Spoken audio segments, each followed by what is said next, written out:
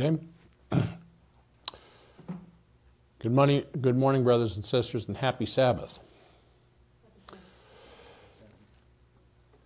As we are about to open this Sabbath day's presentations, shall we ask our Heavenly Father for His guidance, for His direction and His blessing in those things that we should consider?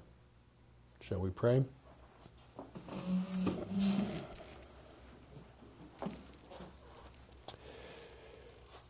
Gracious Father in heaven, we thank you for these Sabbath hours where we may come before you, reflect upon the many blessings that you have been providing,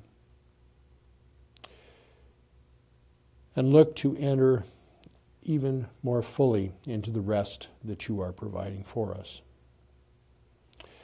We ask now, Father, that your Spirit may be with us, that your angels may attend us.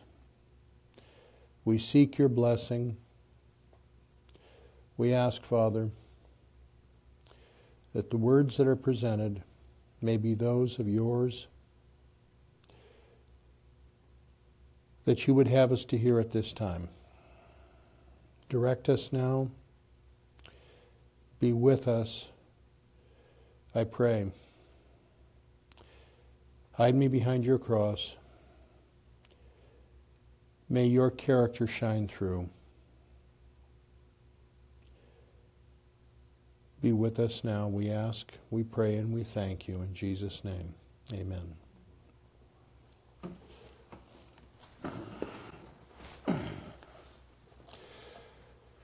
Throughout this week, we have been addressing many of the examples that we have been shown in the book of Judges. What we're going to look at today is going to come from the Signs of the Times, 2nd of June, 1881, and possibly from a few other documents. But our opening verses today are going to come from Judges 2, verses 1 through 5. So if you could turn with me, please, to Judges chapter 2, verses 1 to 5, then we will begin.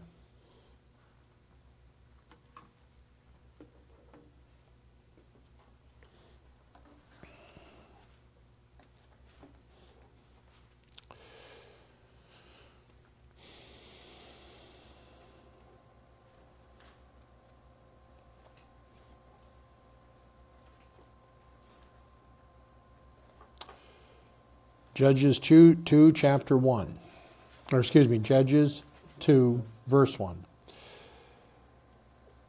And an angel of the Lord came up from Gilgal to Bochim and said, I made you go up out of Egypt and brought you unto the land which I swear unto your fathers. And I said, I will never break my covenant with you.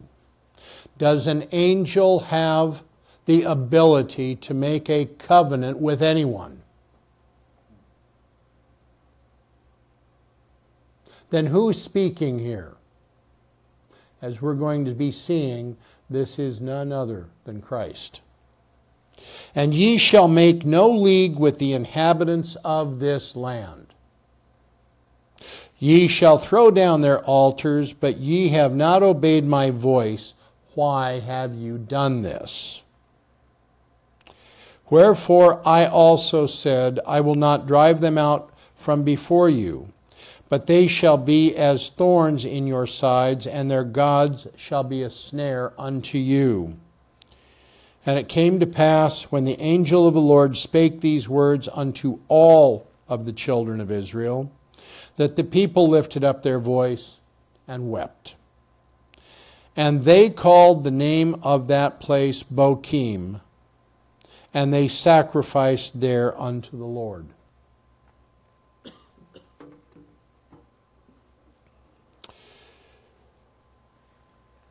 Although the last admonitions of Joshua and the solemn covenant which Israel had made with God seemed to make a deep impression upon them, Yet time soon proved that the influence was not permanent. After the death of their leader and of the elders who were associated with him, the people began gradually to relapse into idolatry. Are we not seeing this occurring today within the movement and within the church?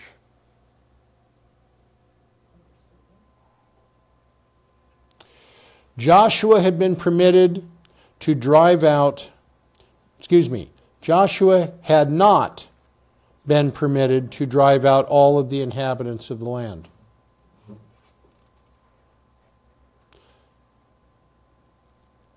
A remnant of the heathen nations were spared for a time, that the Lord might through them test the faith and the obedience of his people and that those whose hearts were cherishing idolatry might be revealed and punished.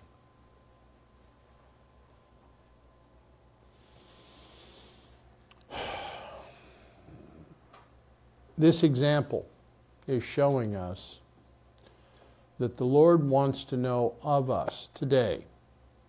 Are we willing to trust Him?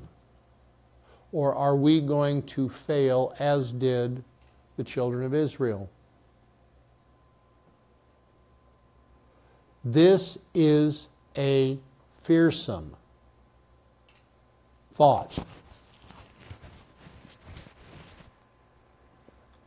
The generation that succeeded Joshua were directed to carry forward the work which he had left unfinished, but they did not obey the divine command to utterly destroy the heathen. Where stand we today? Are we still doing as the pioneers? Are we making use of Miller's rules? Are we choosing to study for ourselves to understand what the Bible would say to us today? Or are we waiting for men to come to us and say, This is the way. Are we waiting on others, trained in Hebrew and Greek, to tell us what the Bible says? Where does this teaching come from? Are we waiting for those that have graduated with their degrees their Doctor of Divinity degrees to tell us what to believe. Some of the tribes made war on the Canaanites, but failing to receive the help that they should have had from their brethren, they became weary of the conflict and spared the most dangerous enemies.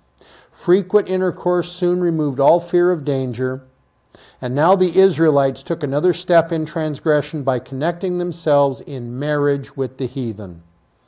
When this was done, the difficulties of the situation were greatly increased. It was no easy matter to make war with relatives and to extirpate or banish their own kindred.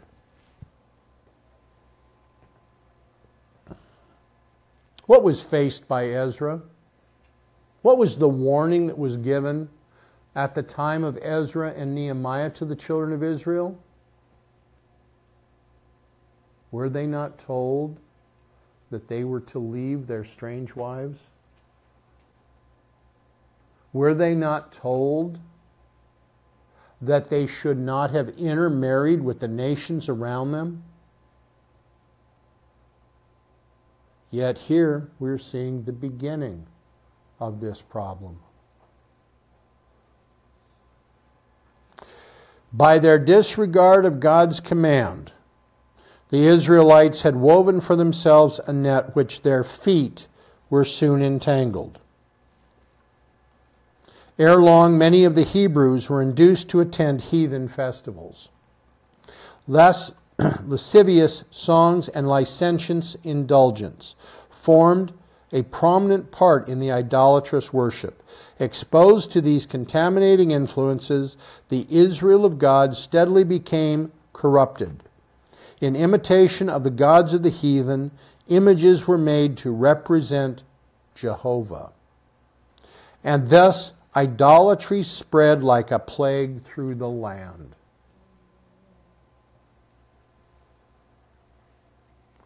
Are we children of the book? Exodus 20 laid out exactly the covenant that the children of Israel had with God. Exodus 20 through 23 is the entire book of the covenant. Are we not told we shall have no other gods before Jehovah? Are we not told we should make no graven image? Yet here, in this generation, so soon after Joshua, what are the children of Israel doing? They are abandoning the covenant, the league with Jehovah.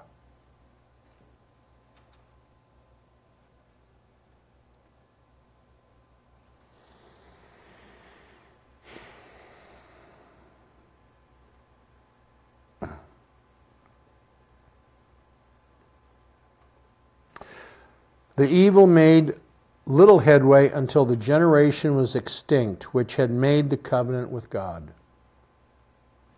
But the parents had prepared the way for the apostasy of their children. God's commandments had been disregarded, his safeguards removed, his barriers broken down. What are the safeguards? What are the barriers? Is this not the wall between us and the world? Why does God erect a wall around us? Why does God seek to do such a thing? Is it not for our own protection? Is it not for our own benefit?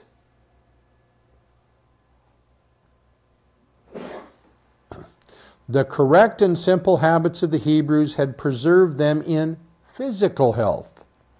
But association with the heathen had led to the indulgence of appetite and sensual passions.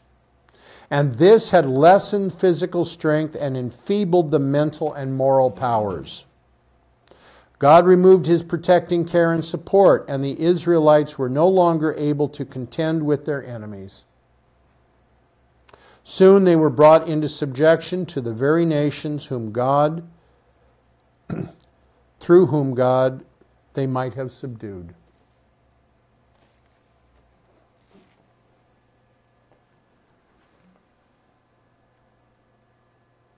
What are they doing? They're turning their backs upon God. The Lord did not permit the sins of the people to pass without rebuke. They were still faithful worshippers in, in Israel, and many others from habit and early association attended the worship of God at the tabernacle. A large company were assembled upon the occasion of a religious feast, when an angel of God, having first appeared at Gilgal, revealed himself to the congregation at Shiloh, he addressed them in words of solemn reproof.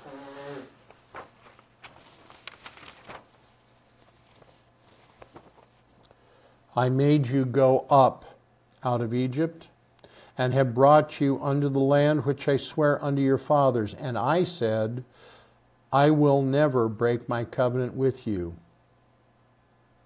Can we depend on the Word of God? If he says, I will never break my covenant with you, does he mean what he says? And ye shall make no league with the inhabitants of the land. Ye shall throw down their altars. But ye have not obeyed my voice. And why have you done this? Wherefore I also said, I will not drive them out from before you, but they shall be as thorns in your sides, and their gods shall be a snare unto you. This angel, the same that appeared to Joshua at the taking of Jericho, was no less a personage than the Son of God. It was he who brought Israel out of Egypt and established them in the land of Canaan. He showed them that he had not broken his promises to them, but they themselves had violated their solemn covenant.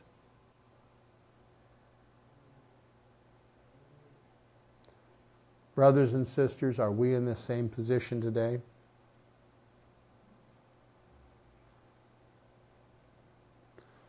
Are we seeing the effects of not holding to the covenant with Jehovah? And it came to pass when the angel of the Lord spake these words unto all the children of Israel, that the people lifted up their voice and wept. And they sacrificed there unto the Lord, but their repentance produced no lasting results. What are the effects of truly keeping a covenant? It means that you have a change in your demeanor, in your very life.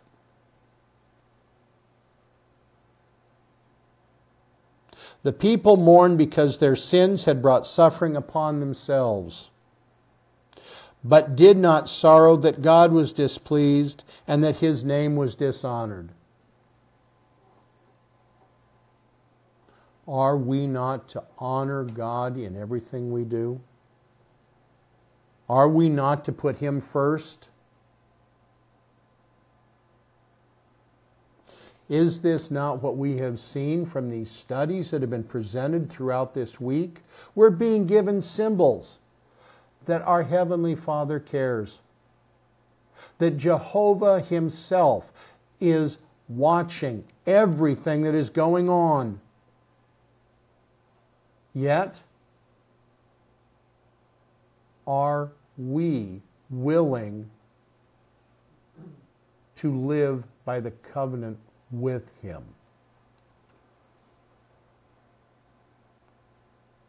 True repentance includes more than sorrow for sin. It demands a resolute turning away from evil.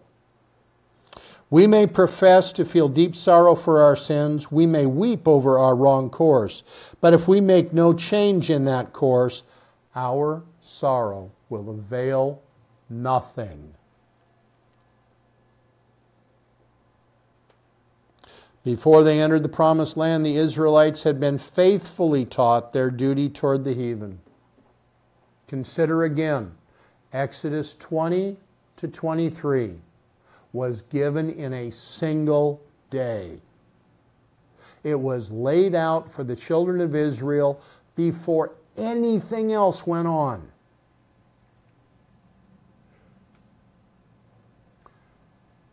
If we're presented with things in a single day, how many of these things do we remember?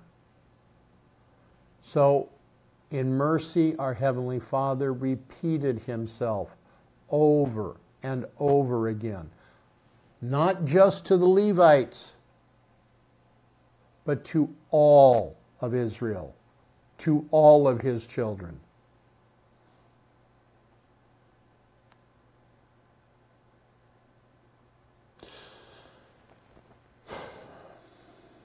They were to make no league with the inhabitants, but to utterly destroy their idols and to cast down their altars. Now the angel, now Christ solemnly declares, You have not obeyed my voice.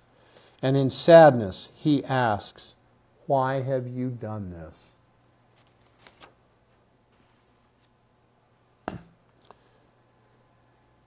What have we addressed several times this week, is the symbol for a league. 158.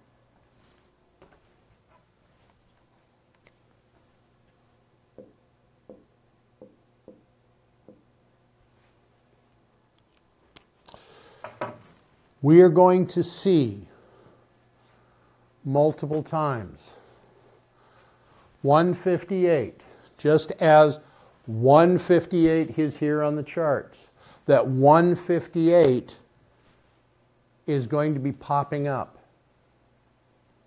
We're going to need to remember this. 158 we're going to be able to address as being either a league with God or a league with man. A league that is holy and ordained of Jehovah, or a league that is in keeping with the adversary. Which are we going to choose?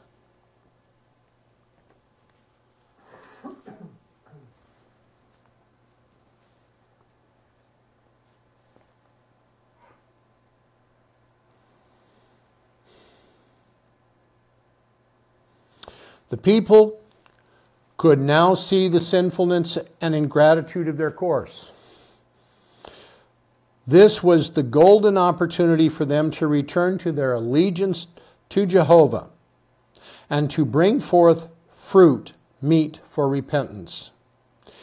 Had they manifested a willingness to act when duty was made known, had they entered at once upon the performance of the work that had been neglected, then the curse of Jehovah might have been turned away from Israel. But they returned to their evil ways, and the Lord left them to suffer the consequence of their own neglect.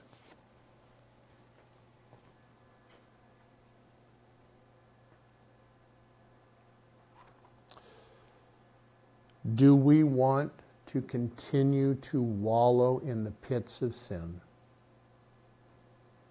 Do we desire to continue to eat of the garbage of the world?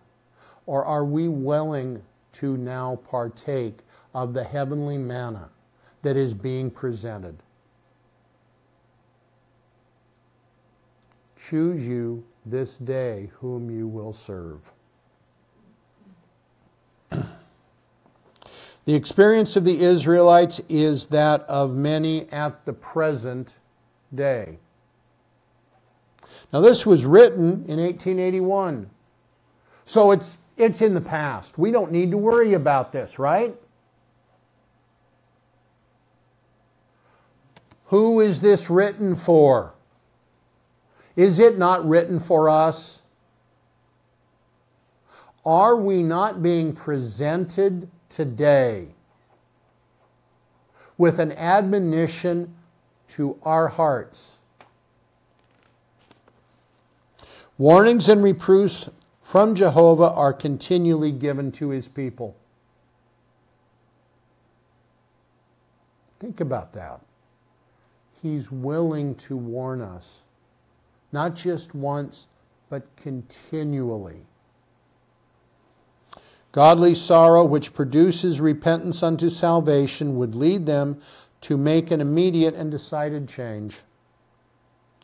But here many fail. Confessions are made, sorrow is expressed, tears are shed, but there is no permanent change of life.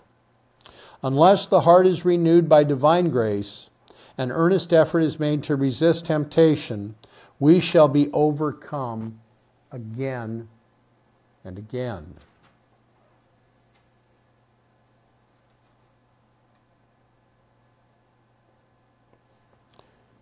What do we desire? To whom are we trusting? Among God's preferred people, there are men in responsible positions who are content to remain in a state of coldness and backsliding. May this not be said of us.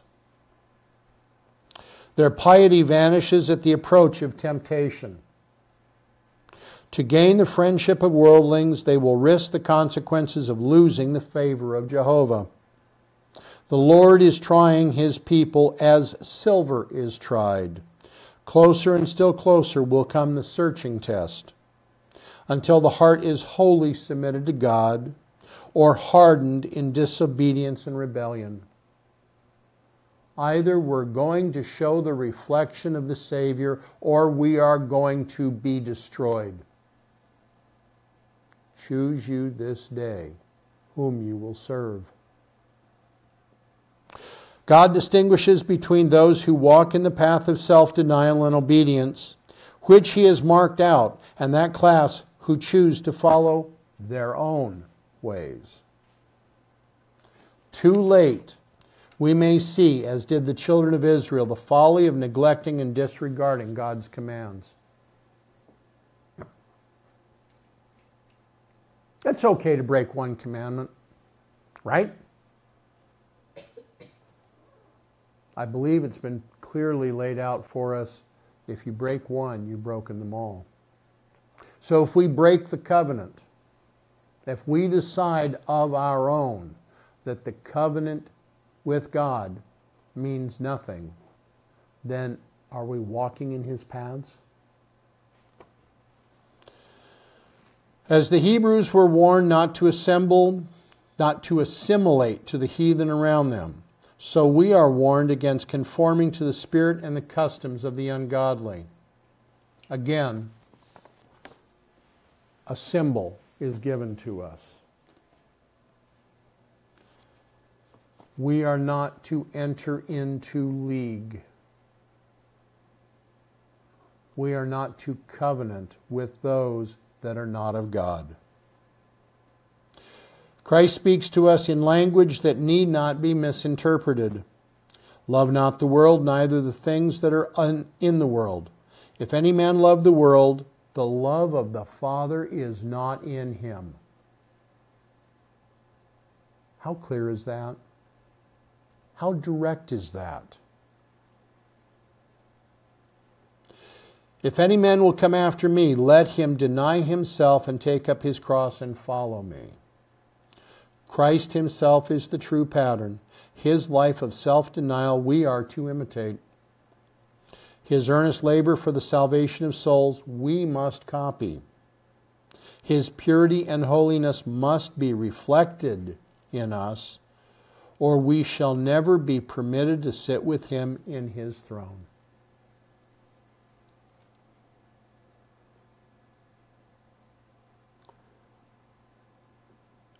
God desires to give a message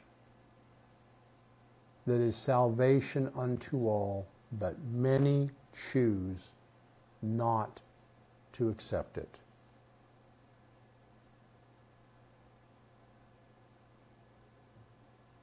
That is a thought that is very scary.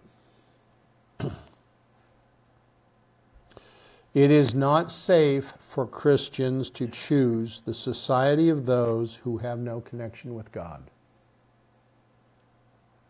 and whose course is displeasing to Him. Yet, how many professed Christians venture upon forbidden ground? Many invite to their homes relatives who are vain, trifling, and ungodly. And often the example and the influence of these irreligious visitors produced lasting impressions upon the minds of the children of the household. The influence thus exerted is similar to that which resulted from the association of the Hebrews with the godless Canaanites. God holds the parents accountable for disregarding his command to separate themselves and their families from these unholy influences. That, for me, was a very hard statement to read.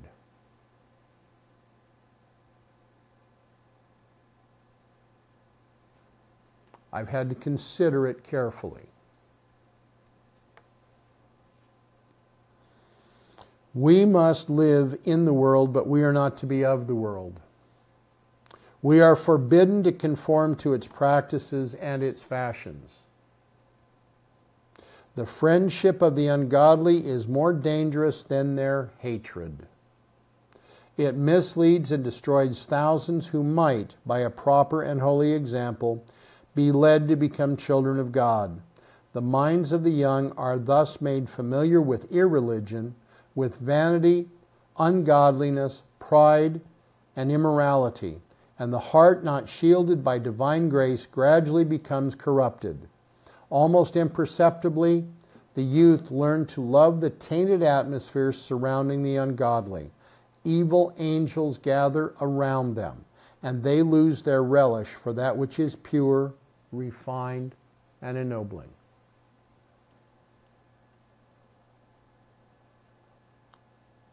Who do we want surrounding us?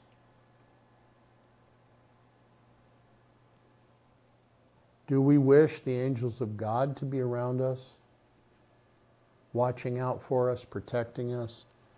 Or do we wish to invite angels of the adversary? Choose you this day whom you will serve.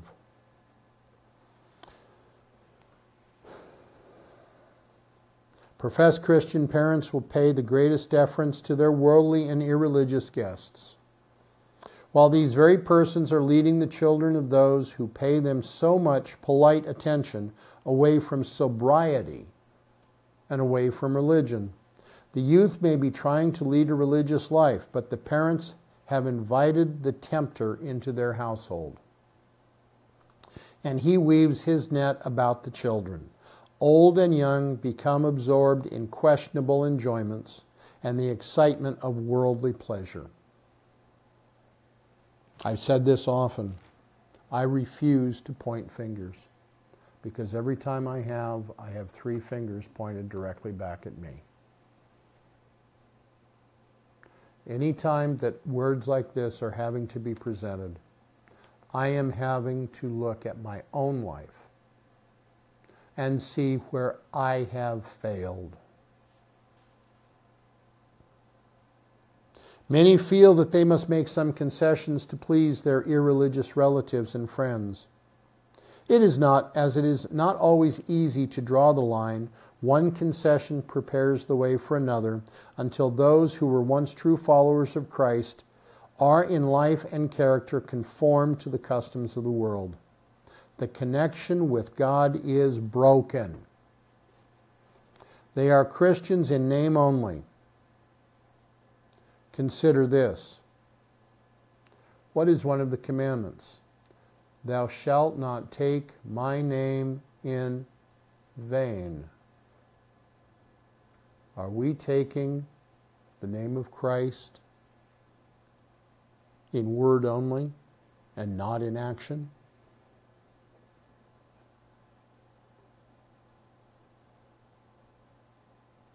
When the test comes and their hope is seen to be without foundation, they have sold themselves and their children to the enemy.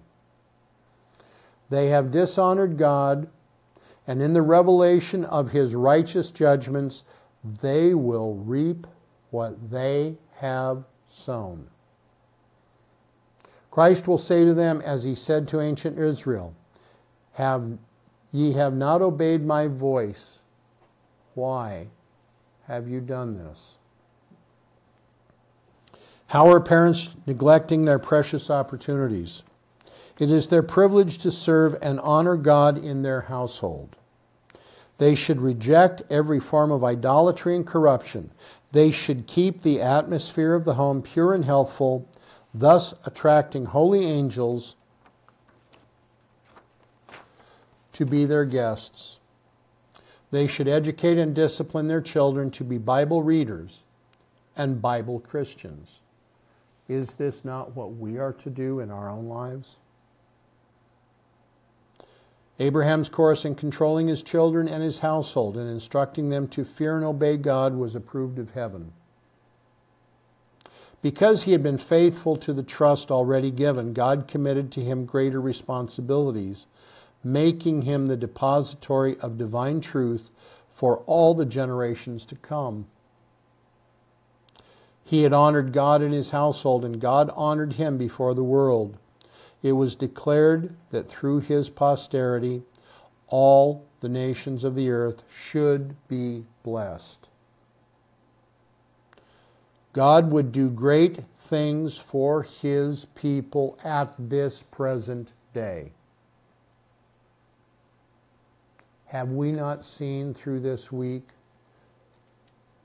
the very evidences that God is leading? Have we not been experiencing that God is giving a message? He's letting us see that He is willing and able to save.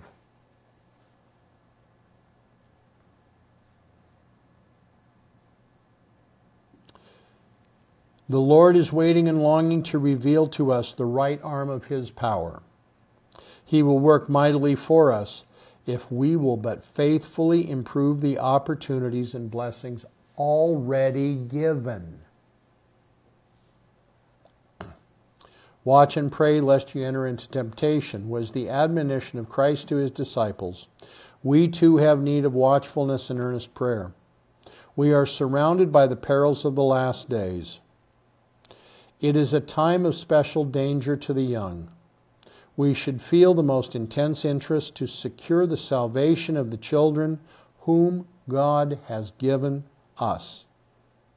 When so much is at stake, how can we set up idols in our hearts? How can we be indolent and trifling, vain, proud, and careless? We have foes to fight within, we have victories to gain over our own sinful propensities. The lust of the flesh, the lust of the eye, and the pride of life are seeking continually to weaken our spirituality. We must crucify the flesh and the affections and lusts. Let us not yield to sloth, to unbelief, and to idolatry as did the children of Israel. They and their examples are presented for us today.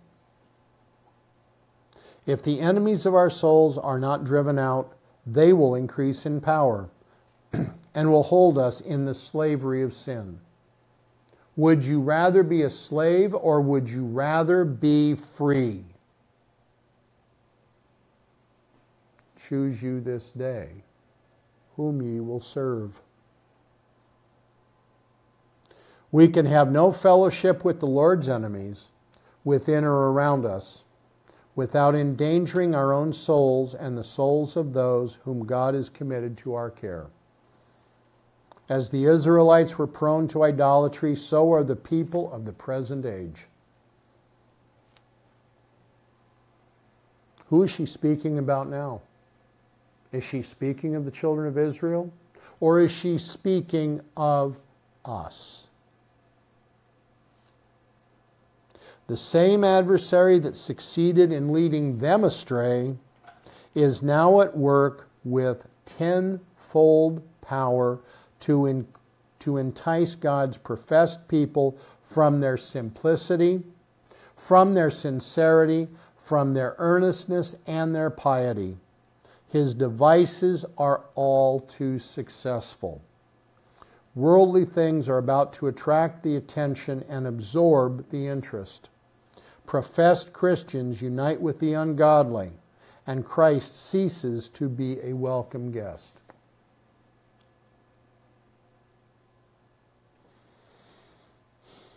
Who are we welcoming into our lives? Who is it that we are seeking to allow to be our master? The only safety for God's people is to put away the impious ambition to make a league with the world, to imitate her customs and practices. They must seek a closer connection with God and give diligent heed to His word in counsels, in reproofs, and in promises. What covenant? What league? Whom are we serving? Are we being faithful as was Abraham? Are we being faithful as was Nehemiah?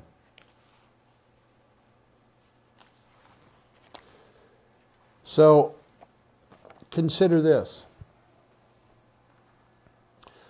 The children of Israel had not been faithful, even though that generation saw the awful power upon Sinai. They were a chosen nation. They were a nation that God directly desired to set above all other nations. And yet, they apostatized.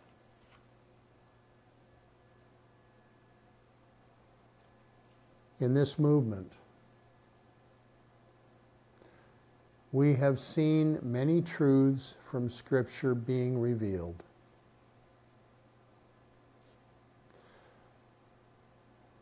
This movement is being shown that God is about to return to the earth.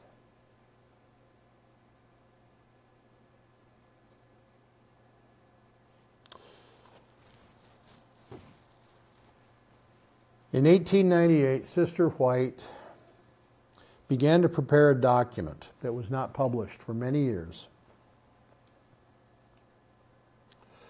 This is a document that only a portion has now been presented because there are one or more typed copies of this document that contain additional handwritten interlineations, additional lines which may be viewed at the Ellen White estate. They are not deemed fit for public viewing. Does that mean that all of these documents have then been published? I would have to say no.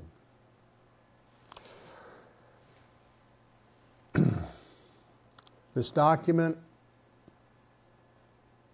was written on the 16th day of the seventh month of the biblical year 5943.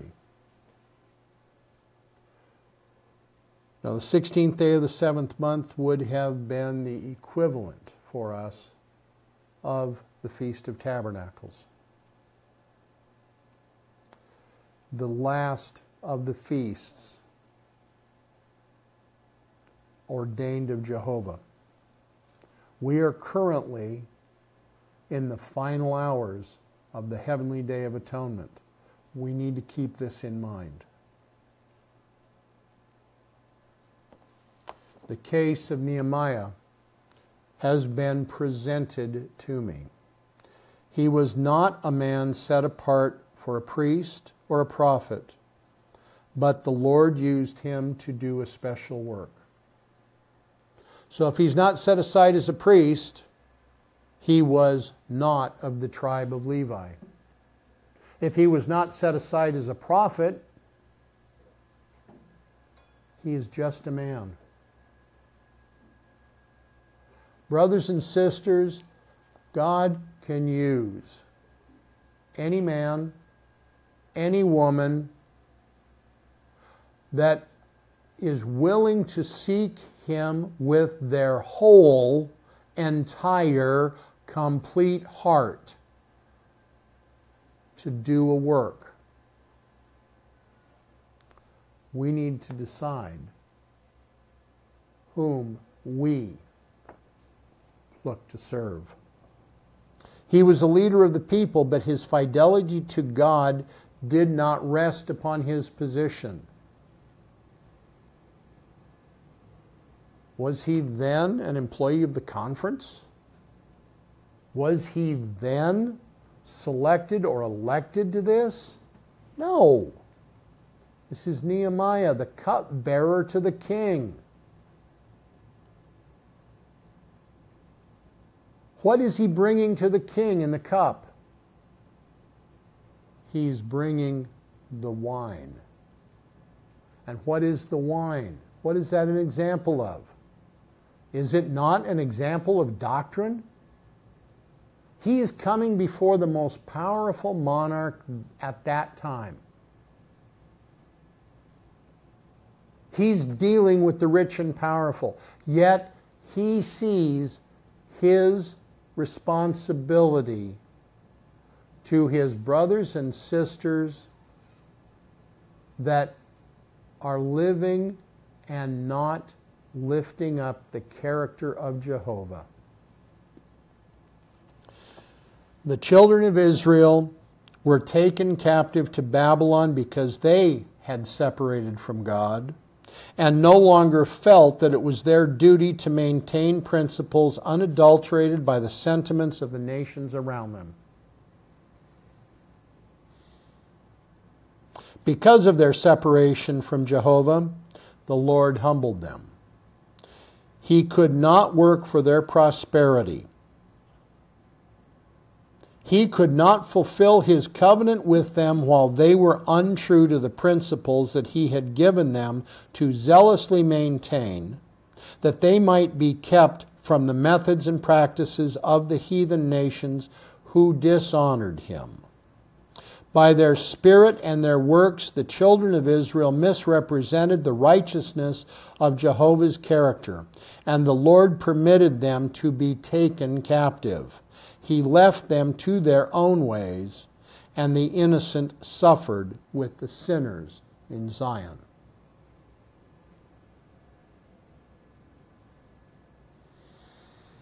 Is this occurring today? Are the innocent suffering with the sinners? If it is, change needs to be made. But among the children of Israel, there were Christian patriots. Wait a minute, wait a minute, wait a minute. She writes this in 1898, saying that among the children of Israel, among the children before Christ's advent, there were Christian patriots who were as true as steel to the principle.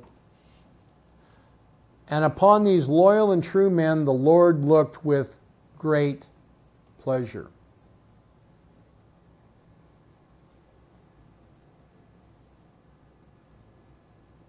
Are we to stand for God as did Abraham? Are we to stand for him as did Deborah and Barak? Are we to stand for him as did Daniel? Are we to be as true to principle as they were? These were men who would not be corrupted by selfishness nor mar the work of God by following erroneous methods and practices. Men who would honor Jehovah at the loss of all things. They had to suffer with the guilty, but in the providence of God, this captivity was the means of bringing them to the front and their example of untarnished integrity while captives at Babylon shines with heaven's luster.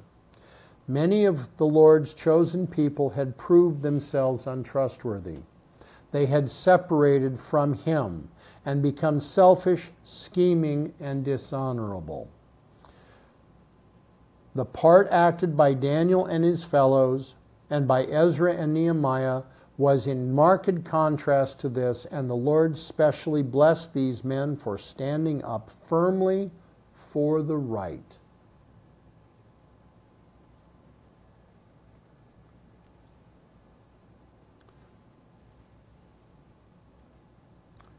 There are many times that we are presented with situations.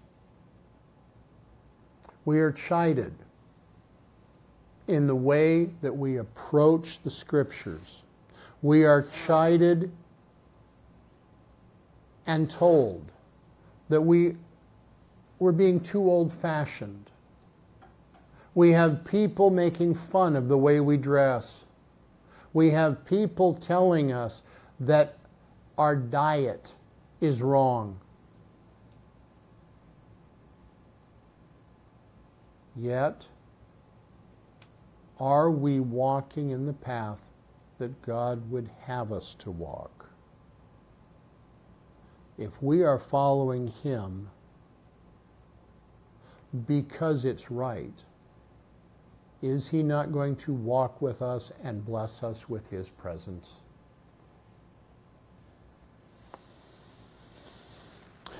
Nehemiah and Ezra were men of opportunity. The Lord had a special work for them to do. They were to call upon the people to consider their ways and to see where they had made their mistake.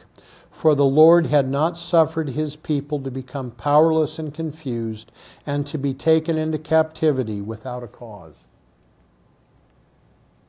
Think about that for a minute.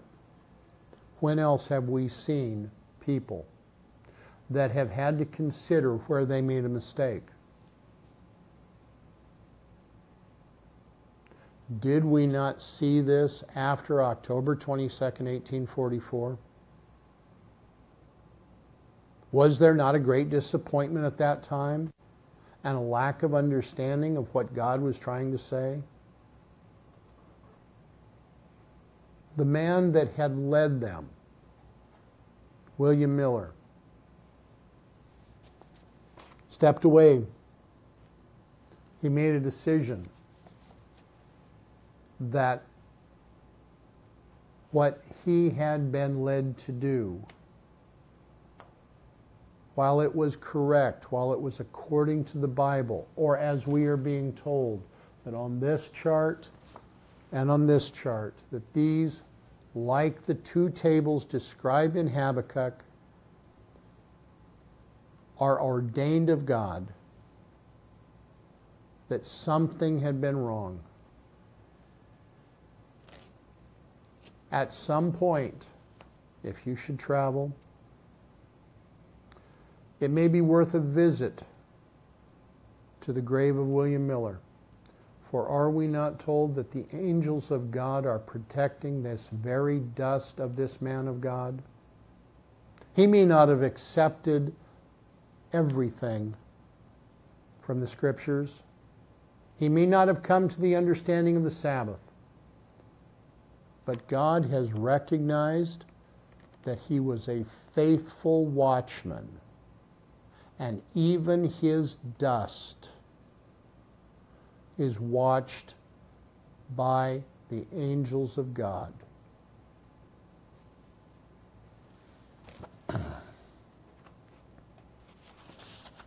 The Lord's work will not be hindered, even though the workman may prove unworthy.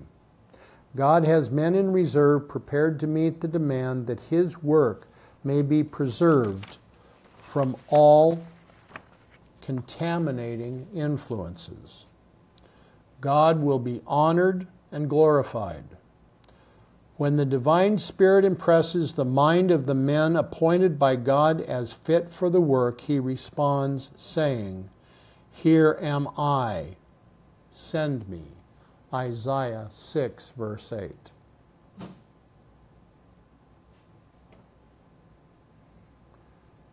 How does the servant of the Lord respond? Here am I. How does the Son of God respond? Here I am. Nehemiah found the book of the law, and the eighth chapter of Nehemiah gives the particulars of the influence that the reading of God's requirement had upon the people. In the ninth chapter, the works of the Lord in behalf of his people are repeated the sins of the people in turning from God are pointed out.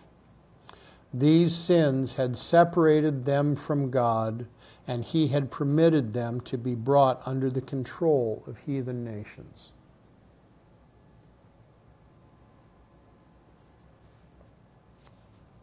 Consider carefully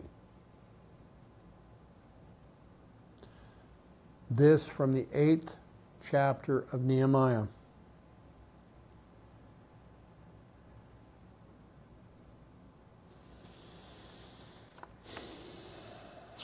Nehemiah was chosen by God because he was willing to cooperate with God as a restorer. Are we today willing to cooperate with God? Are we willing today to be restored into communion with God?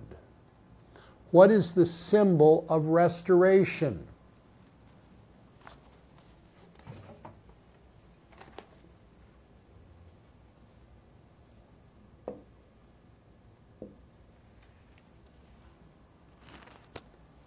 If we are ever to look and find symbols such as this combined, is that important for us to pay attention with? Are we to be restored into communion with our Creator?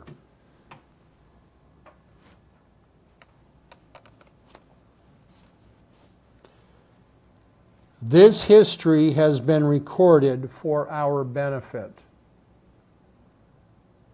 This history of the children of Israel and of Nehemiah is recorded for us to use to learn. What has been will be, and we need to look to God for counsel. We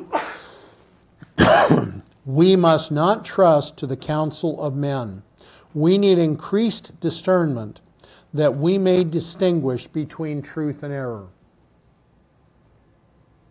Too many times, in too many ways, we turn to the creation rather than turning to the Creator. The history of the children of Israel, as recorded in Nehemiah, shows the sure result of turning from Bible principles to the customs and the practices of men. Is this not so from what we've seen in the book of Judges? The Lord will not serve with any devising to gratify the selfishness of men and blight his work. He will not give prosperity to plans that lead away from fidelity to his commandments.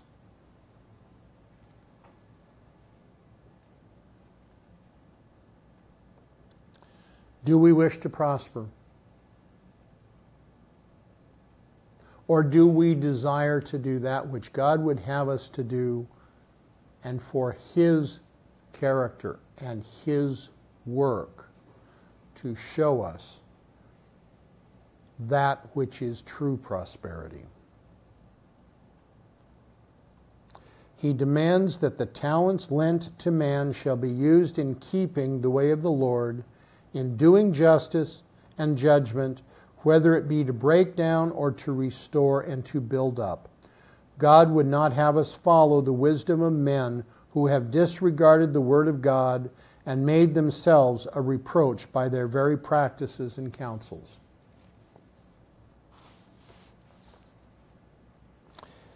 They have laid themselves as manacled victims on the altar of mammon, and the plainest, simplest principles of Christianity are disregarded by them. Satan triumphs, for the light of the Sun of Righteousness does not shine into their hearts. May this not be said of us.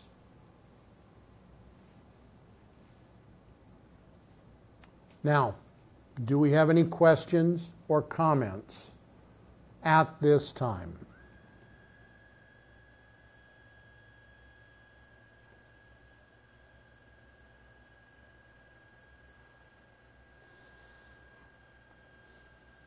Shall we then close in prayer?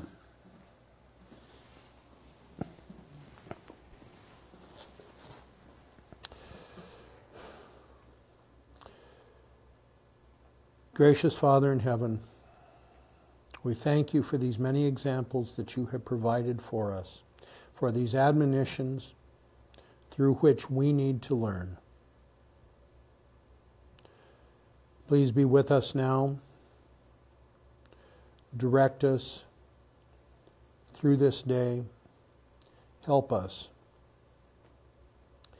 so that what we do, what we say, what we think, what we speak, may lift up your character in all ways.